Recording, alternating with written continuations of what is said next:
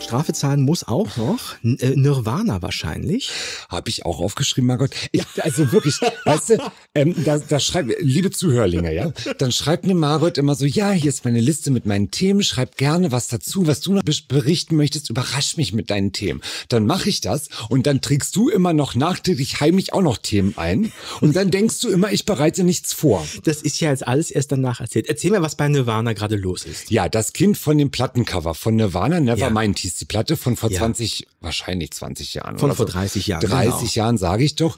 Ähm, das Kind ist, ist ein Säugling zu sehen äh, unter Wasser in einem Pool, der nackt in einem, einem Geldschein hinterher taucht. Richtig. So, das ist das Plattencover. Heißt Sehr berühmt. Spencer Eldon.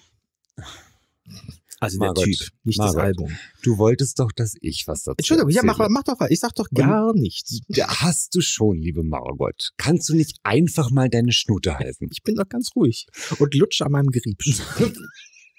Margot, ich möchte heute noch abends was essen, verdammt normal.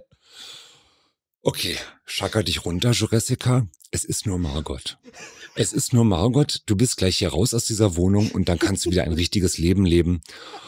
Oder diesen alternden Transvestiten auf dem Fahrrad mit schütterem Haar. So.